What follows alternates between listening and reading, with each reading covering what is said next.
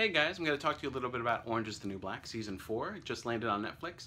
I'm not going to go into full spoilers here though. Uh, if you want to, my written review on IGN.com has a link within it to a spoiler discussion page where I go over the ending, uh, the episode before the ending, the penultimate Season 4 episode, and then some others, uh, specific story elements from the season.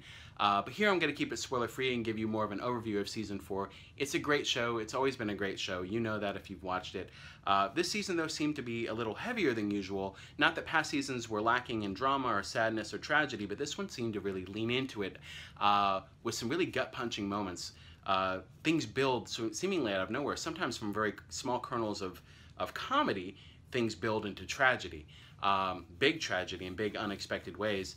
And um, that really played out this season, and I don't know if it had anything to do with the fact that last year um, the Emmys ruled the show ineligible to compete as a comedy at the Emmys uh, because it's an hour long.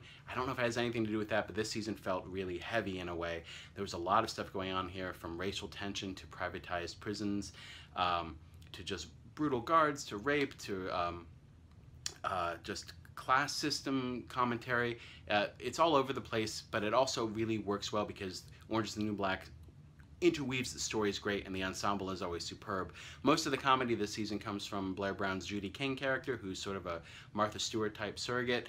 Um, and there are other people who have comedic moments as well, but other than that, it's a lot of um, hardness and harsh, harshness uh, on the show and in the flashbacks. And uh, we start off right as season three ended with the sort of the prisoner exodus to and the lake party uh, and then Piper's story sort of starts out comedic. It was a little weird and awkward, and she's trying to puff out her chest a little bit, be an alpha female, try to act intimidating based on what she did to Stella in season three. She's a little high on her own fumes, and in come 100 new inmates because Litchfield is privately owned, and they're trying to cram as many prisoners in there for profit.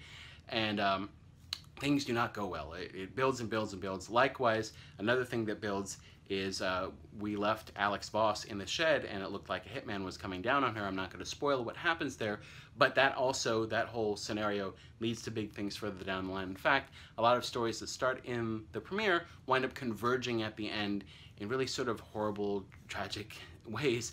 Um, as this show, you know, works in commentary uh, in a good in a good way. Uh, Orange is the New Black it never sort of hits you over the head with things because everybody's living their life so crammed together, they're going to get in each other's way, there's going to be problems, things are going to get brought up. So all the relevant uh, social commentary of the now that sort of happens on the show feels very natural because of the situation and the location and how the show plays out and all the different types of characters with different backgrounds living together. So other shows that might feel sort of on the nose and corny, here it feels very sort of naturally textured within the show itself. But again, this is a very harsh season. Um, and, and, you know it leads and leads and leads like all the seasons do um, but it feels like it leads towards something pushing it into next season a little more like things are even going to escalate even further in season five uh, whereas say in season two things just ended with Big Vee getting killed and that kind of closed the bottle on that and you know it was kind of like a, uh, a clean slate. Um, anyway it was a superb season. You could read my review on IGN.com and uh, look for all things Orange is the New Black on IGN thanks